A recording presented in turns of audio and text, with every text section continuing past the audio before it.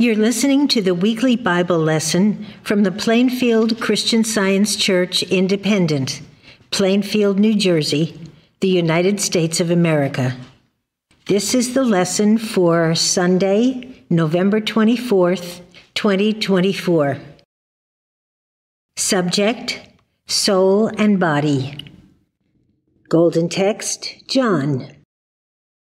Labor not for the meat which perisheth but for that meat which endureth unto everlasting life, which the Son of Man shall give unto you. The responsive reading is from Psalms. Oh, that men would praise the Lord for his goodness and for his wonderful works to the children of men. For he satisfieth the longing soul, and filleth the hungry soul with goodness. He sent his word and healed them, and delivered them from their destructions. He turneth the wilderness into standing water, and dry ground into water springs. And there he maketh the hungry to dwell, that they may prepare a city for habitation.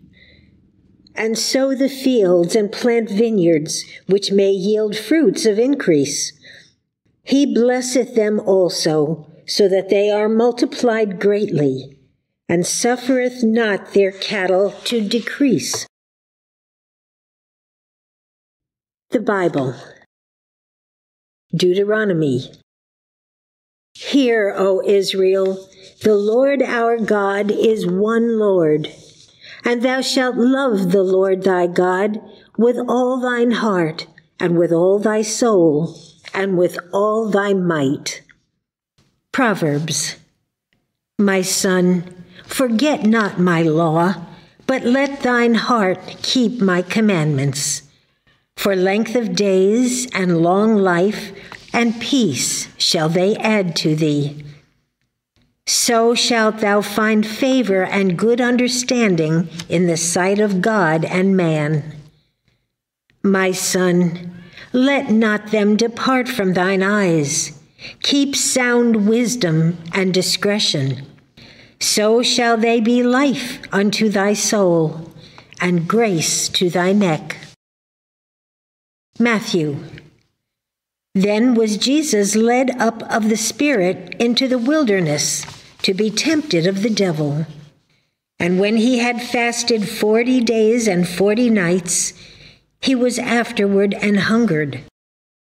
And when the tempter came to him, he said, If thou be the Son of God, command that these stones be made bread. But he answered and said, It is written, Man shall not live by bread alone, but by every word that proceedeth out of the mouth of God. Then the devil leaveth him. And behold, angels came and ministered unto him. And Jesus went about all Galilee, teaching in their synagogues, and preaching the gospel of the kingdom, and healing all manner of sickness and all manner of disease among the people. And seeing the multitudes, he went up into a mountain, and when he was set, his disciples came unto him. And he opened his mouth and taught them, saying, No man can serve two masters, for either he will hate the one and love the other, or else he will hold to the one and despise the other. Ye cannot serve God and mammon. Therefore, I say unto you, take no thought for your life what ye shall eat or what ye shall drink, nor yet for your body what ye shall put on. Is not the life more than meat, and the body than raiment? Behold the fowls of the air, for they sow not, neither do they reap, nor gather into barns. Yet your heavenly Father feedeth them. Are ye not much better than they? Therefore, take no thought, saying, What shall we eat? Or what shall we drink? Or wherewithal shall we be clothed? For after all these things do the Gentiles seek. For your heavenly Father knoweth that ye have need of all these things. But seek ye first the kingdom of God and his righteousness, and all these things shall be added unto you. What I tell you in darkness, that speak ye in light, and what ye hear in the ear, that preach ye upon the housetops. And fear not them which kill the body, but are not able to kill the soul, but rather fear him which is able to destroy both soul and body in hell. And Jesus went forth and saw a great multitude, and was moved with compassion toward them. And he healed their sick. And when it was evening, his disciples came to him, saying, This is a desert place, and the time is now past. Send the multitude away, that they may go into the villages and buy themselves victuals. But Jesus said unto them, They need not depart. Give ye them to eat. And they say unto him, We have here but five loaves and two fishes. He said, Bring them hither to me.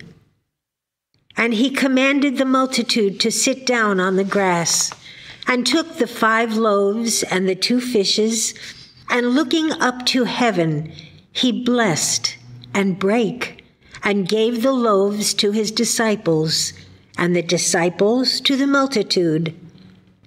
And they did all eat and were filled and they took up of the fragments that remained twelve baskets full. And they that had eaten were about five thousand men, beside women and children. And straightway Jesus constrained his disciples to get into a ship and to go before him unto the other side, while he sent the multitudes away. John. When the people therefore saw that Jesus was not there, neither his disciples, they also took shipping and came to Capernaum, seeking for Jesus. Jesus answered them and said, Verily, verily, I say unto you, ye seek me not because ye saw the miracles, but because ye did eat of the loaves and were filled. Our fathers did eat manna in the desert. As it is written, He gave them bread from heaven to eat.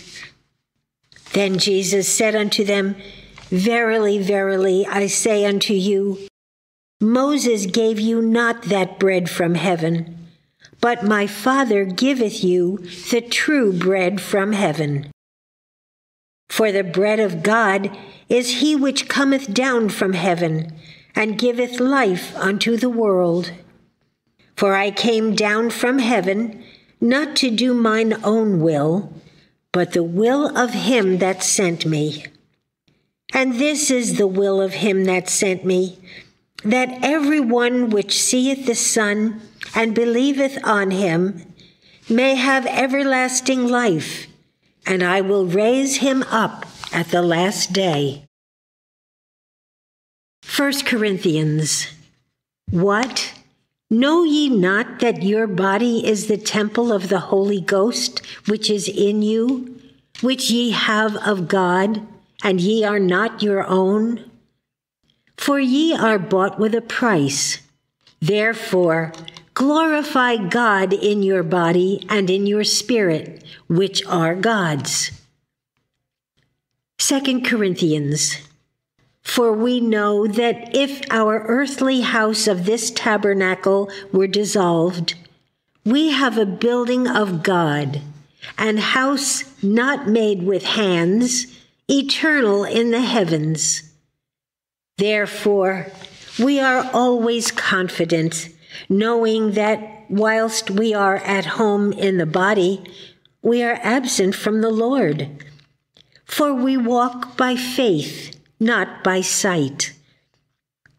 We are confident, I say, and willing rather to be absent from the body and to be present with the Lord. 1 Thessalonians.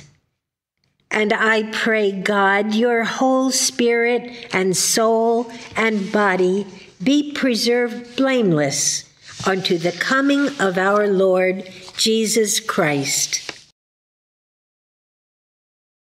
I will now read correlative passages from the Christian Science textbook, Science and Health with Key to the Scriptures by Mary Baker Eddy. Soul is synonymous with spirit, God, the creative, governing, infinite principle outside of finite form, which forms only reflect. Identity is the reflection of spirit, the reflection in multifarious forms of the living principle, love. Soul is the substance, life, and intelligence of man, which is individualized but not in matter. Soul can never reflect anything inferior to spirit. Man is the expression of soul. The Indians caught some glimpses of the underlying reality when they called a certain beautiful lake the smile of the Great Spirit. Separated from man, who expresses soul, spirit would be a nonentity.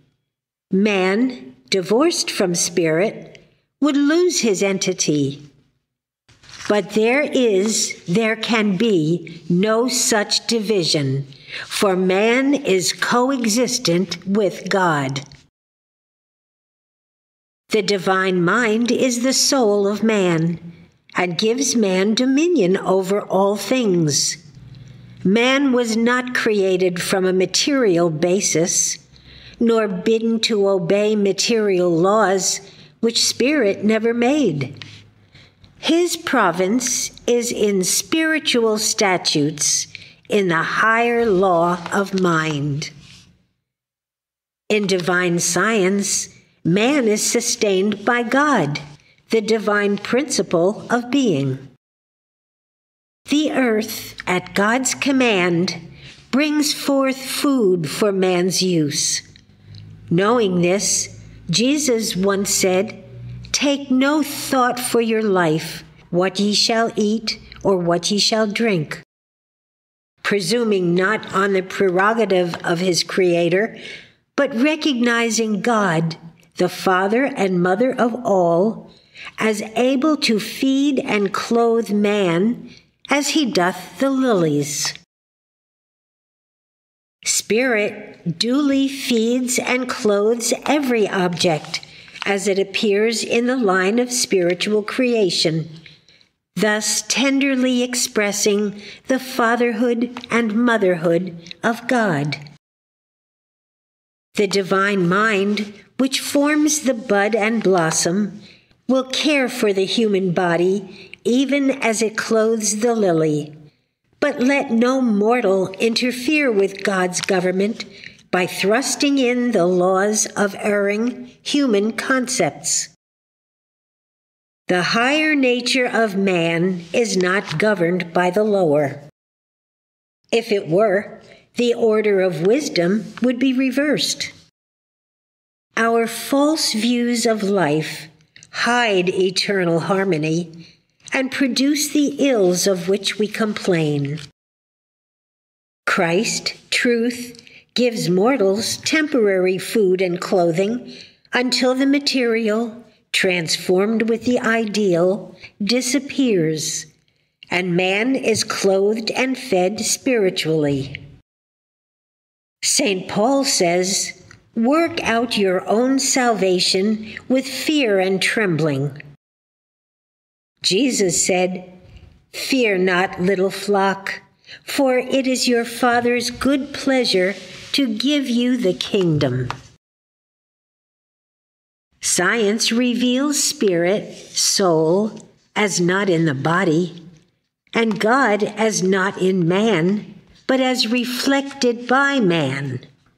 The greater cannot be in the lesser. The belief that the greater can be in the lesser is an error that works ill. This is a leading point in the science of soul. That principle is not in its idea. Spirit soul is not confined in man and is never in matter. When you say man's body is material, I say with Paul, be willing rather to be absent from the body and to be present with the Lord. Give up your material belief of mind in matter and have but one mind, even God for this mind forms its own likeness. The loss of man's identity through the understanding which science confers is impossible. And the notion of such a possibility is more absurd than to conclude that individual musical tones are lost in the origin of harmony. The so called laws of matter and of medical science have never made mortals whole, harmonious, and immortal. Man is harmonious when governed by soul. Hence the importance of understanding the truth of being, which reveals the laws of spiritual existence. God never ordained a material law to annul the spiritual law. If there were such a material law, it would oppose the supremacy of Spirit, God, and impugn the wisdom of the Creator.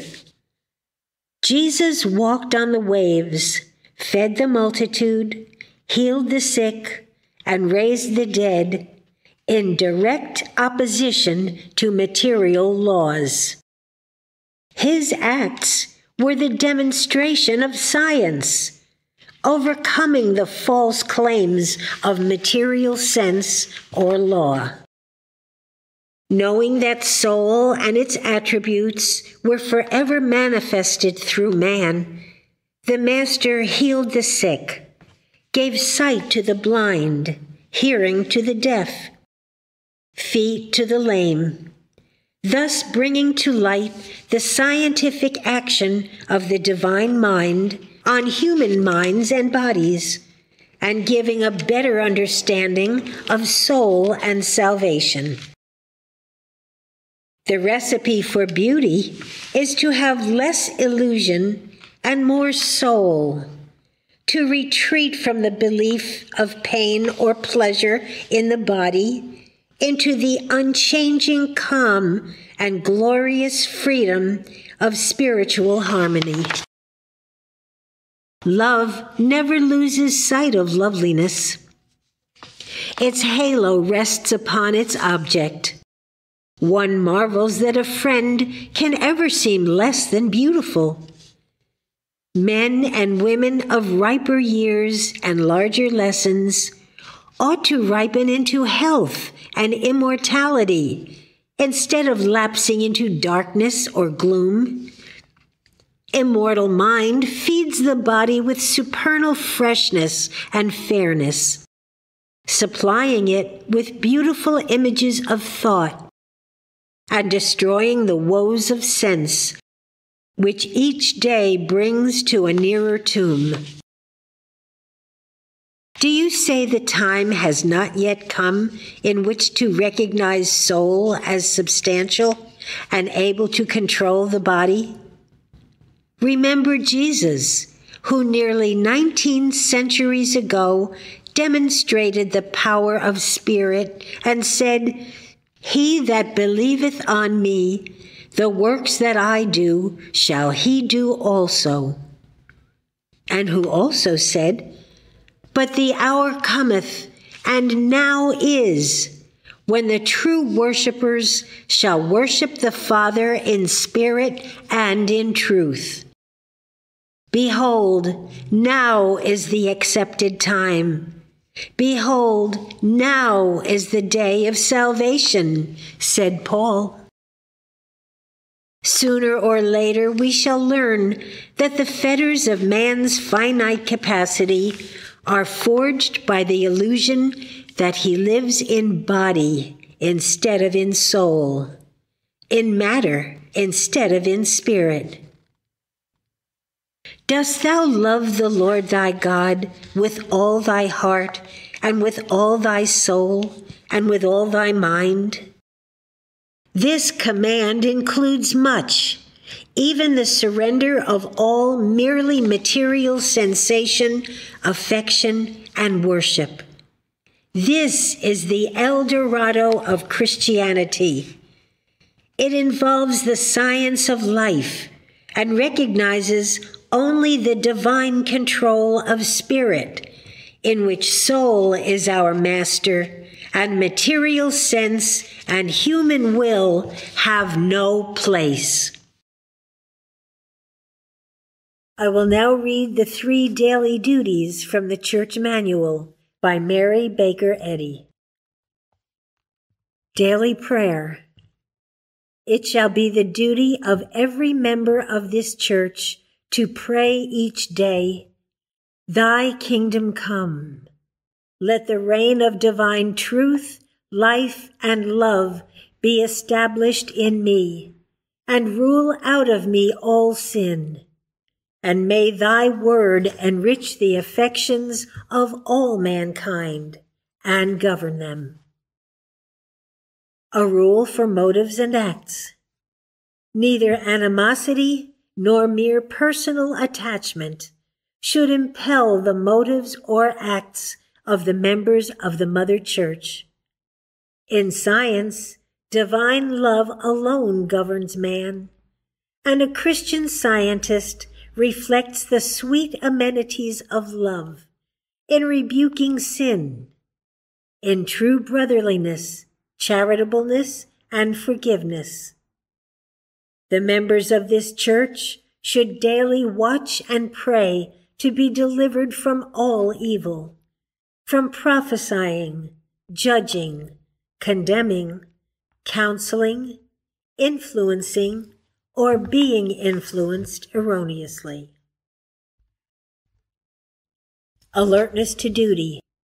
It shall be the duty of every member of this church to defend himself daily against aggressive mental suggestion and not be made to forget nor to neglect his duty to God, to his leader, and to mankind. By his works he shall be judged and justified or condemned. And from Science and Health, Christian scientists, be a law to yourselves that mental malpractice cannot harm you, either when asleep or when awake. This Bible lesson was prepared by the Plainfield Christian Science Church Independent. It is comprised of scriptural quotations from the King James Bible and correlative passages from the Christian Science textbook, Science and Health with Key to the Scriptures, 1910 edition by Mary Baker Eddy. For more information, please visit our website, plainfieldcs.com. Thank you for listening and have a blessed day.